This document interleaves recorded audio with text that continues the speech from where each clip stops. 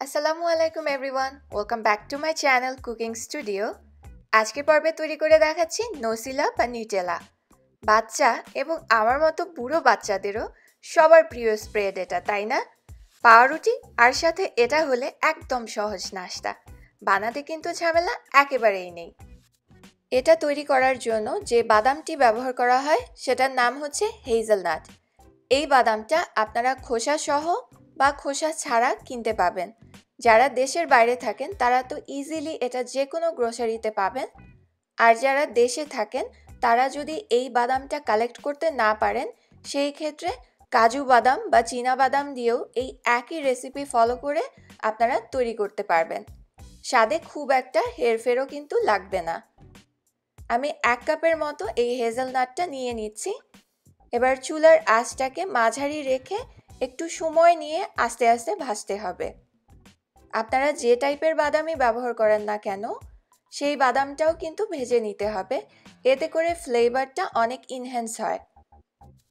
যদি খোসাসহ বাদাম ব্যবহার করেন, সেই ক্ষেত্রেও ভেজে তারপরে ঠান্ডা করে হাত দিয়ে একটু ঘষে নিলেই দেখবেন খোসাটা ইজিলি সরিয়ে নেওয়া যাচ্ছে। এবার আমি একটা বাটিতে ভেজে নেওয়া বাদামটা তুলে নিচ্ছি। না হয় হাড়ির গরমে বাদামটা অতিরিক্ত পুড়ে যেতে পারে। বাদামটা ঠান্ডা হয়ে যাওয়ার পরে একটা ব্লেন্ডারের জাগে নিয়ে নিলাম। এবার এটাকে ভালোভাবে গুঁড়া করে নিতে হবে। চেষ্টা করবেন বেশি ভোল্ট বা বেশি পাওয়ার আছে এই টাইপের ব্লেন্ডার ব্যবহার করতে। এতে করে নিউটেলার টেক্সচারটা অনেক বেশি স্মুথ হয়। আর বাদামটা কিন্তু একেবারে মিহি করে গুঁড়া করতে হবে। গুঁড়া করতে করতে দেখবেন যে বাদামটা একটুখানি ভেজা টাইপ হয়ে আসবে। এটা হয়েছে বাদামটা ব্লেন্ড করার পরে বাদামের ভেতরের যে তেলটা আছে, সেই তেলটা বের হয় সেই কারণে।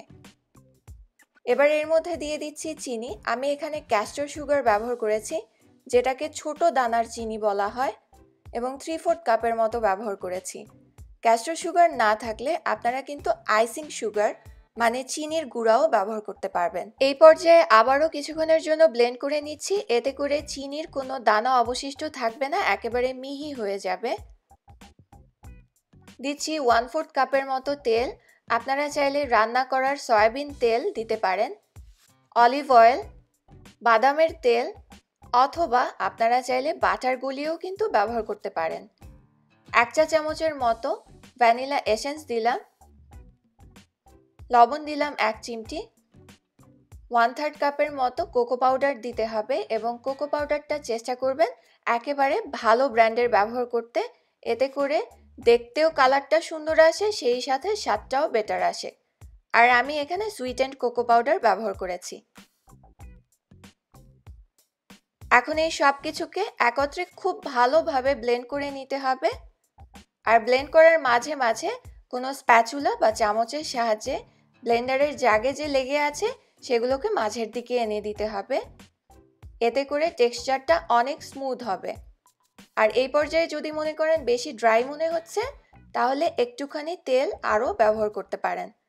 তবে কোনোভাবেই কিন্তু পানি ব্যবহার করতে যাবেন না। ভালোভাবে ব্লেন্ড করে নেওয়ার পরে এটাকে একটা পরিষ্কার কন্টেইনারে আমি ঢেলে নিচ্ছি।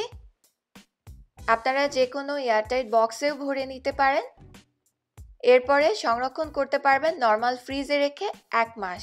এর থেকে বেশি সংরক্ষণ করা যাবে না। কারণ আসলে এটাতে কোনো প্রিজারভেটিভ নেই, একেবারে ন্যাচারাল উপাদান দিয়ে তৈরি করা। ট্রাই করে দেখবেন, আশা করছি আপনাদের ছোট্ট সোনামণিদের এটা ভালো লাগবে।